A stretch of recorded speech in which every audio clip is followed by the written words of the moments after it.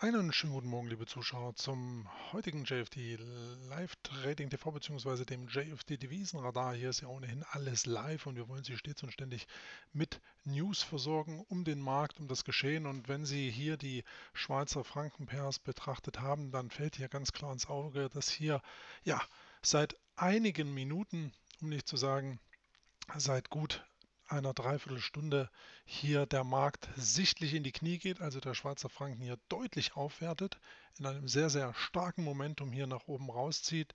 Und das ist genau der Grund, warum wir diese Paare heute nochmal in den Fokus nehmen wollen. Wir hatten ja gestern erst den US-Dollar gegenüber dem Schweizer Franken schon im Fokus, vor dem Hintergrund, dass eben hier der Markt bzw. die charttechnische Tendenz schon nach unten tropfte. So richtig Bewegung ist da nicht aufgekommen, muss man letztlich sagen. Aber unterm Strich hat sich ja dann hier, insbesondere heute dann, jetzt hier dieser sich andeutende negative Tendenz letztlich verschärft. Wir sahen hier sowohl beim US-Dollar gegenüber dem Schweizer Franken als auch beim britischen Pfund gegenüber dem Schweizer Franken hier die Synergie, also praktisch hier diese Asia-Range jeweils hier in diesem orangen Rechteck, diese nach unten aufgelöst wurden. Und interessant ist eben hierbei, dass wir grundsätzlich gestern auch ähm, auf Godmode Trader sogar selbst hier das britische Pfund gegenüber dem Schweizer Franken mit einer inversen SKS lokalisiert hatten. Das sah schon mal ganz interessant aus, aber mit den jetzigen Bewegungen ist das hier natürlich schon wieder ein Stück weit relativiert. Und wir sehen jetzt hier, wie beide Währungspaare eben aufgrund der Stärke des Schweizer Frankens nach unten wegbrechen und hier insbesondere natürlich den Pivotpunkt auch weit hinter sich lassen. Die Frage ist eben, was jetzt noch geht und das ist natürlich bei solchen Korrekturbewegungen immer die wichtigste Frage vor dem Hintergrund. Sie sehen hier, ähm, die Range ist bereits 88 Pips gelaufen. Also wir sind hier schon 88 Pips nach unten gezogen und das gleiche, also beim US-Dollar gegenüber Schweizer Franken, hier beim British Pound, Schweizer Franken sind es 142 Pips und wir haben im Prinzip gerade hier beim Schweizer Franken im Kontext des britischen Pfunds hier die Daily Range schon ausgeschöpft. Hier ist im Prinzip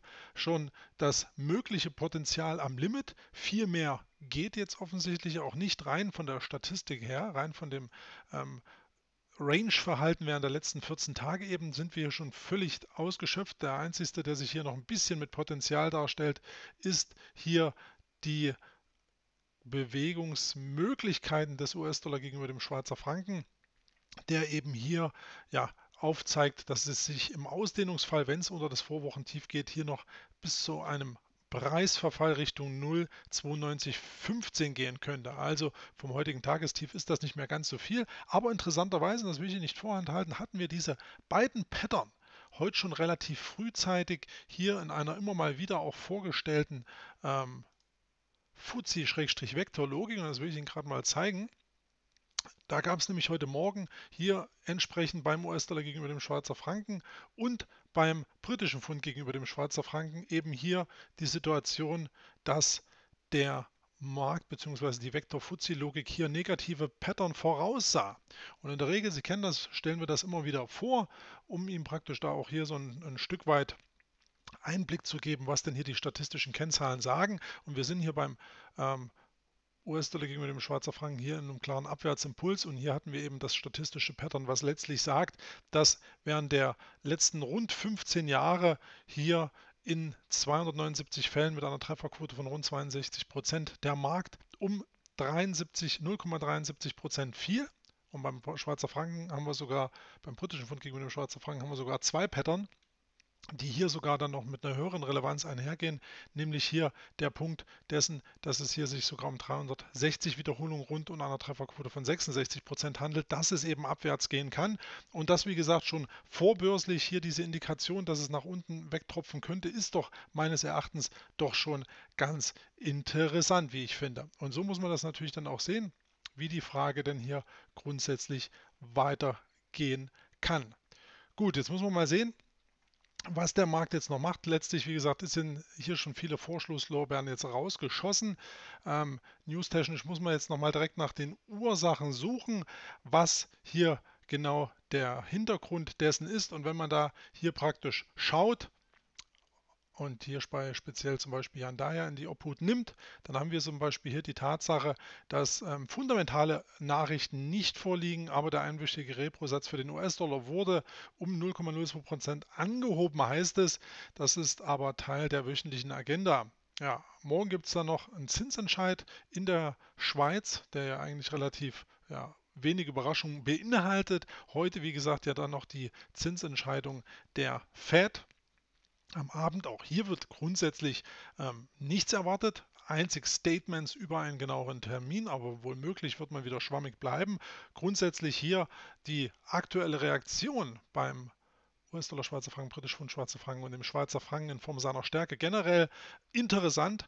Doch hier ist alles schon innerhalb von noch nicht mal einer Stunde gelaufen. Sie sehen es an den erschöpften Ranges. Das Einzige wäre natürlich, wenn wir jetzt hier deutlich über die Ranges hinausziehen, zum Beispiel bis zum Vormonatstief beim US-Dollar gegenüber dem Schweizer Franken oder auch bis zum Vorwochentief beim ähm, britischen Pfund gegenüber dem Schweizer Franken. Das wären jetzt hier noch enorme Korrekturszenarien, aber die sind ja rein range-technisch fast schon nicht möglich. Das sprechen wir hier über mehrere hundert Pips, die es nach unten gehen könnte. Aber generell sehr, sehr interessant, was sich hier immer auftut, wenn die Asia-Ranges zum Beispiel eben durchbrochen werden. Und wenn das ganz gut zusammenpasst mit statistischen Pattern, wie in dem Fall heute, dann kann sich hier doch der ein oder andere Einstieg lohnen. Letztlich ganz klar negatives Momentum. Wir haben, wie gesagt, keine fundamentalen Nachrichten vorliegen. Doch grundsätzlich hier die ersten Chancen des Tages sind bereits frühzeitig abgearbeitet worden. Die anderen Währungspaare bieten hierbei durchaus noch Potenzial. Schauen Sie hier zum Beispiel, aber da muss man auch heute aufpassen, auf den Euro gegenüber dem US-Dollar. Der ist gerade erst 39 Pips gelaufen. Da ist sicherlich noch was möglich, aber generell gerade heute vor dem Zinsentscheid Obacht.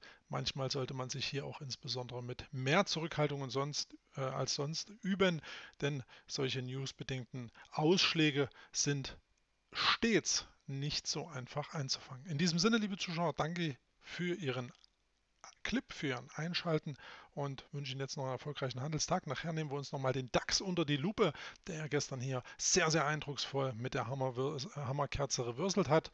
Das, wie gesagt, nachher noch auf dem JFD Desktop. Ich sage erstmal Danke fürs Einschalten. Noch einen erfolgreichen Tag an alle und wenn Sie mögen, bis später. Ihr Christian Kimmerer und Tschüss.